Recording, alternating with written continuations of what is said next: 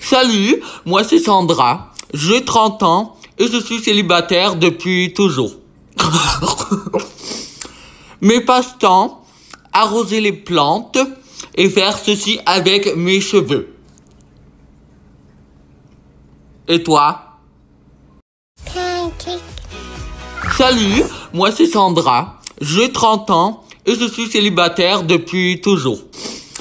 Mes passe-temps, arroser les plantes et faire ceci avec mes cheveux. Et toi?